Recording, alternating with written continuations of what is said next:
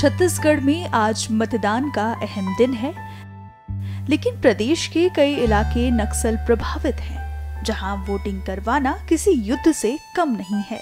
ऐसी ही एक जगह है करीगुंडम, जहाँ नक्सलियों का ऐसा खौफ छाया रहता था, जिसकी वजह से पूरे तेईस सालों तक मतदान ही नहीं हो सका।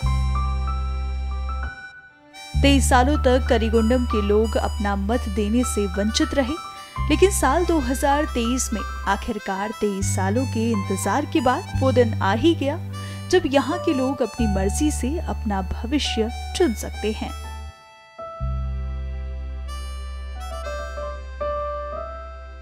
यहाँ मतदान केंद्र पर सीआरपीएफ 150 बटालियन व जिला बल द्वारा सुरक्षा के खास इंतज़ाम किए गए हैं। लोगों की सुरक्षा का खास ख्याल रखते हुए मतदान करवाया जा रहा है।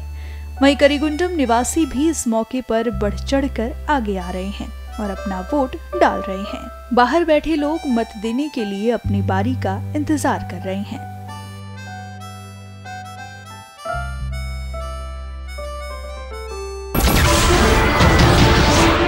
नमस्कार, मैं हूँ मानक गुप्ता। अगर आपको हमारा ये वीडियो पसंद आया हो तो इसे लाइक और शेयर ज़रूर करें।